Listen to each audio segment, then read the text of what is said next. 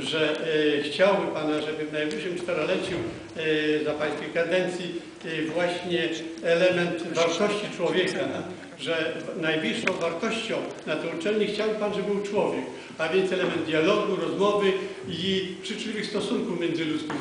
E, Tego w ostatnim czteroleciu zabrakło, więc chciałbym, zwracam się do poszczególnych kandydatów, jak, do wszystkich, całej trójki, jak właśnie praktycznie chcą to realizować, ażeby rzeczywiście e, w czasie ich pracy e, człowiek był najwyższą wartością i żeby element dialogu, nawet trudnych decyzji, żeby ci ludzie byli świadomi tego, że jeżeli są w jakiś sposób, mają negatywne e, decyzje rektorskie, to one są w wyniku pewnych przemyśleń i w wyniku właśnie pewnego dialogu. Uprzejmie proszę, jak Państwo chcecie, bo ja przypuszczam, że e, Panowie prorektorzy w przyszłości, obecnie kandydaci, będą realizować program e, Pana rektorze, a e, gdzie serdecznie Panu gratuluję, a jednocześnie e, e, właśnie wyjątkowo wyrażam podziw dla sformułowania e, tego elementu, który moim zdaniem rzeczywiście jest najważniejszy. Ten budynek przetrwa jeszcze 100 lat. Podzielimy na następne poszczególne właśnie